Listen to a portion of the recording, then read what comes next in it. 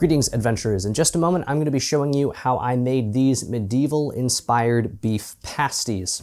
Uh, they are not Cornish pasties because they were not made in Cornwall, but to my knowledge, food types like this, these little handheld pies, are historically accurate to the medieval period. Uh, the earliest uh, literary source that I found cited was the Canterbury Tales, and I believe that was around 1300. Um, and I also believe they would have been using smaller game rather than beef, but we're using beef today. Um, I'm not going to be following any strict medieval recipe. This is something that I sort of created on my own.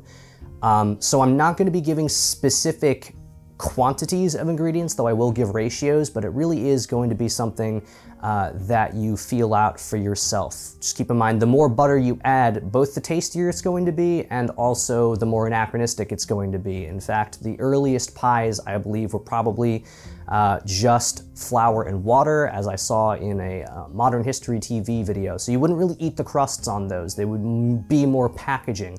Um, but these are an excellent adventuring food. They're easy to pack, really easy to make, simple ingredients, and I would make a whole bunch of these at the beginning of a week back when I lived in the city. Uh, and those would be what I ate during lunch. And just that little bit of medieval flavor is sometimes what kept me going to the end of the day uh, some days. So please do enjoy the video and please do enjoy the pasties. I really encourage you to try these at home.